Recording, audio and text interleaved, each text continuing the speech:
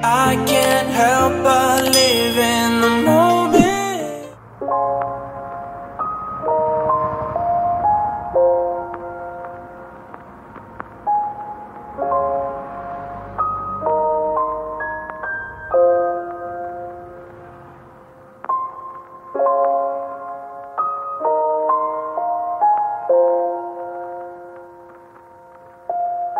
Okay, and now I'm gonna brew my coffee using the Chemex way.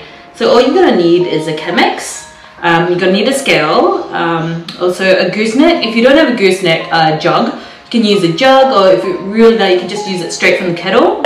Um, some coffee, and um, you can use a sink to empty things out, but um, I'm gonna use a bowl this time, so I don't have to run back and forth, you guys there.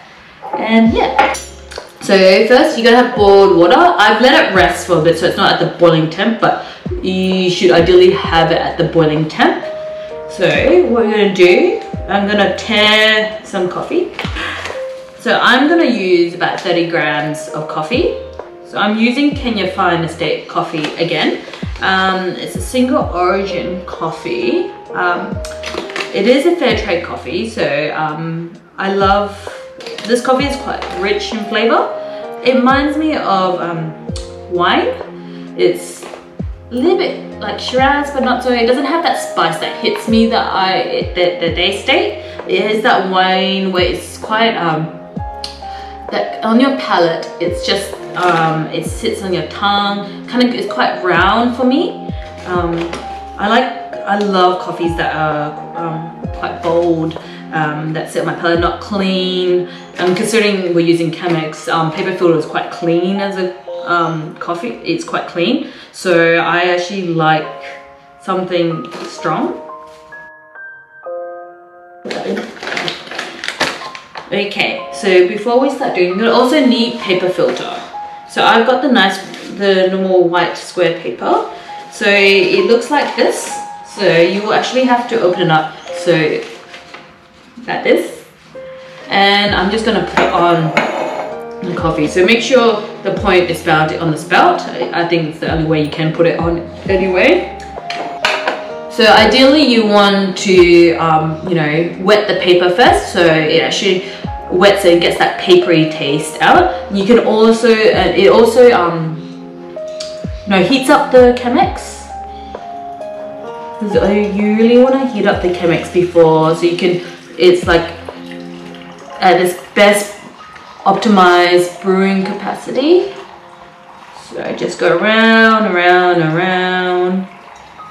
If you find it hard going around like I just turn it as you said, like as you saw me turning it. I find it so much easier because it's like one going clockwise, one going, oh, they're both going anti-clockwise. But if you go clockwise, you can, at least you're getting every single part around the edges and yeah. So as you see, I can feel it's warming up. So I just swirl it around, makes it easier because you're not gonna fill up this with all the water. So just swirl it around.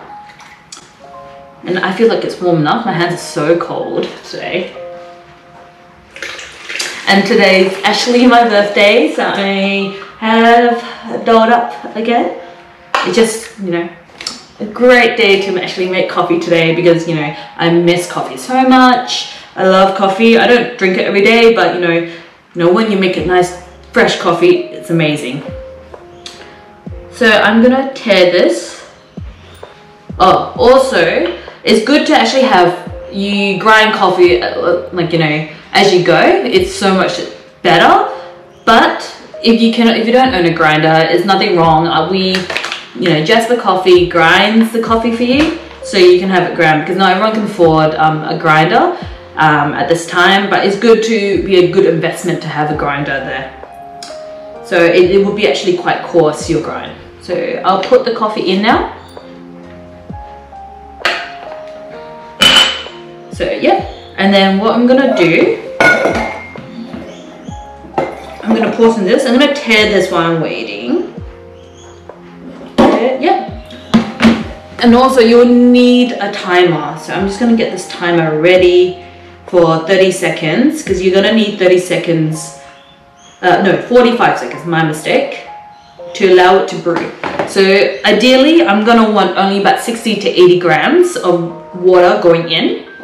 so that um, first I'm just gonna saturate the coffee so it allows it to bloom so that allows it to go in and out of the coffee so so you're not dumping a whole bunch of water in there first so while you do this actually yeah while you do this just gently around so I managed to there we go. Only you managed to use 70 grams of water. So, and I'm just gonna let it drip and brew.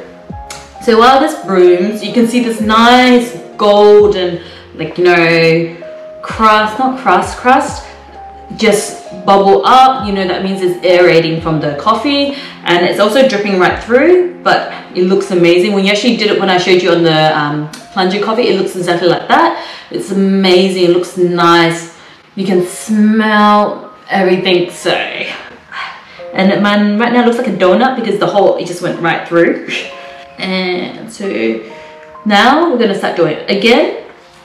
Round and round and round so my circular, anti-circular motion is actually a lot better than I've done uh, every other times. I would actually have to turn this around because I'm, I don't want to hit the paper. I just want to get the coffee.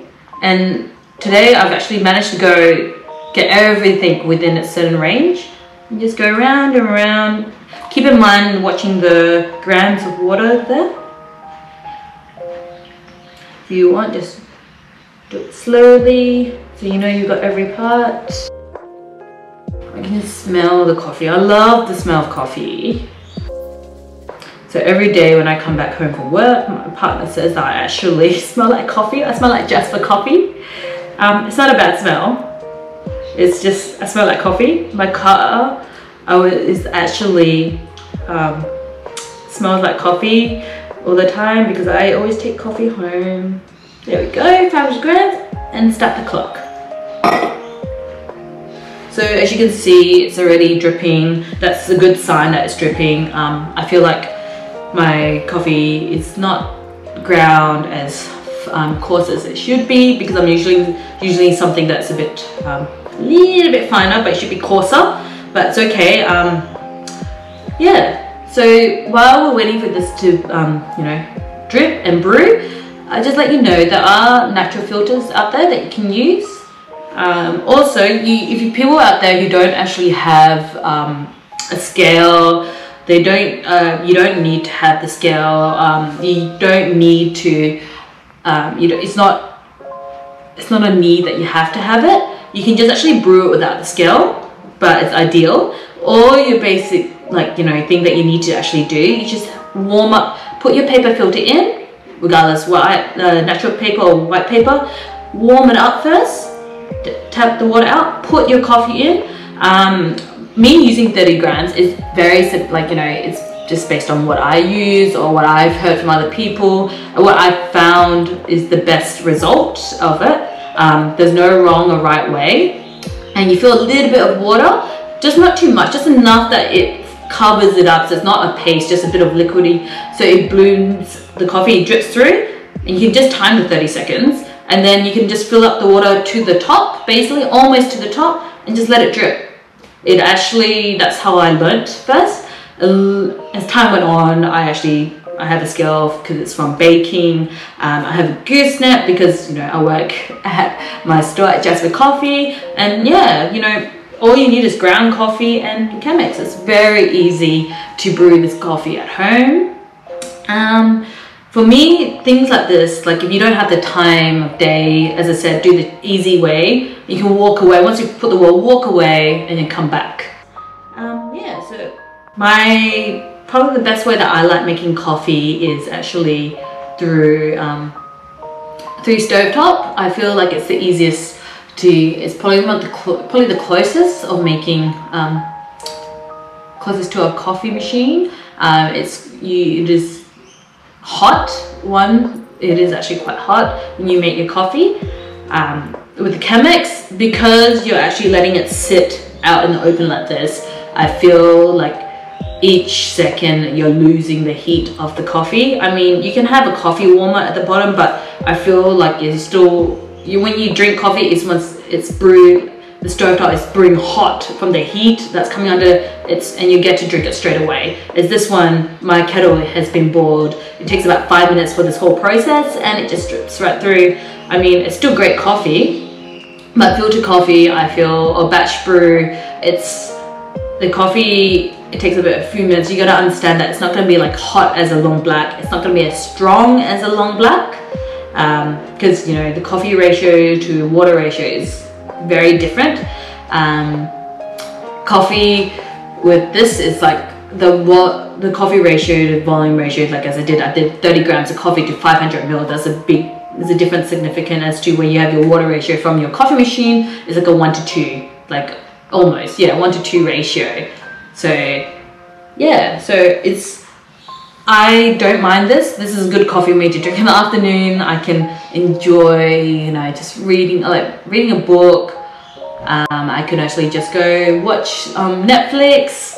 It's it's easy for me to just drink this coffee and I can go to sleep. So um, yeah, I would definitely recommend that there's people who love that whole chemistry set thing because you know it's got a B cup, similar, not really. It's got a glass. You get to make your own coffee. It's the enjoyment of making this coffee that makes me like, you know, love making coffee. So yeah, so it's about, I'm about five seconds off. So I still have a little bit in there. So some, most coffee connoisseurs out there, they say once it hits that second, you have to take it away. So you can decide to take it away. I have, um, it's only a little bit, maybe 0.5 centimeters from the top where it's almost hidden at the bottom. So for me, I kind of don't, I don't like wasting coffee. Like if I walked away, I would, I would actually, yeah, I would actually take it all, take it, um, I would just let it drip until it's done. Um, but I feel like it's enough for me. So, because it's already almost at the top. So, so I'm just going to put it into the here. So And yeah, so that is the way I make Chemex. Just, the good thing about Chemex, I love that it has pouring spout. So you pouring, it's very nice and graceful. And let's try that coffee. Mm. So Chemex coffee is very clean. Um, that's the one thing that I don't like about Chemex, the paper filter. It's very clean. Um, I have to admit, I like very round coffees. I like something that stays on my palate. Um, a lot of people don't, so there's nothing wrong with it. But yeah,